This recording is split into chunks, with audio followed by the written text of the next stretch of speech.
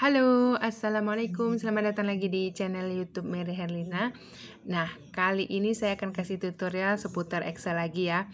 Kalau kalian lihat tulisan di sini sudah pasti lihat apa sih perbedaannya dan apa sih permasalahan yang bakal kita selesaikan hari uh, di video kali ini. Nah, perbedaannya adalah ini selnya lebar ini ada dua baris sedangkan ini satu baris. Jadi kelihatannya nggak rapi kan? Ini di posisi bawah ini juga posisi bawah. Sebenarnya ini nggak rapi ini nih. Nah jadi tugas kita adalah untuk merapikannya dan di posisi tengah-tengah. Sudah pasti ya?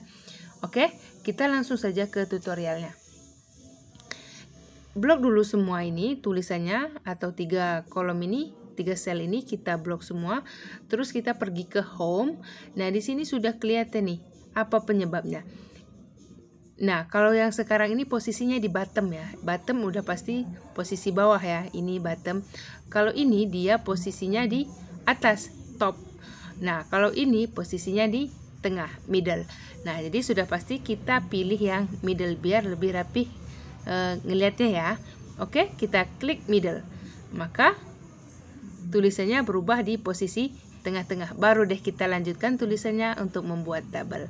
Oke, sekian dulu untuk tutorial kali ini. Semoga bermanfaat. Sampai jumpa di tutorial berikutnya.